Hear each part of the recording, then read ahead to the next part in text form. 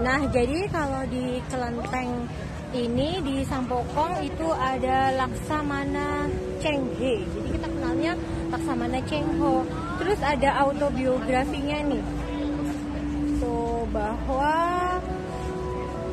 beliau dari dinasti Ming.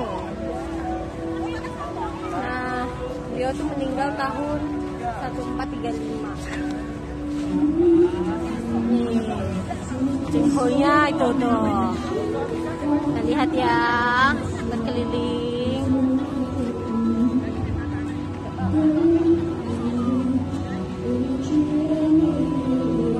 Nah, bagi yang ingin dengan bahasa uh, Cina